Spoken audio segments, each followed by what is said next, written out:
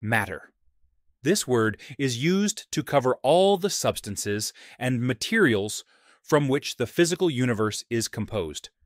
In more scientific terms, matter is anything that has mass and takes up space. There are many millions of different substances known, and all of them can be categorized as solids, liquids, or gases. These are what we call the three states of matter.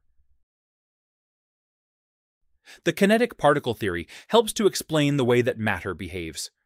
It is based on the idea that all matter is made up of tiny particles, like a small solid sphere, that are in random motion and that have space between them. The kinetic particle theory can be used as a scientific model to explain how the arrangement of particles relates to the properties of the three states of matter. That's one minute of learning down. See you in the next one.